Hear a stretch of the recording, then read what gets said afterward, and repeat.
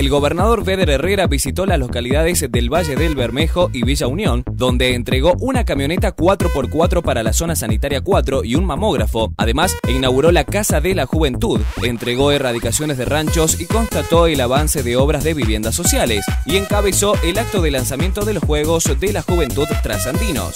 Calidad de vida para todos los riojanos. Gobierno del pueblo de La Rioja.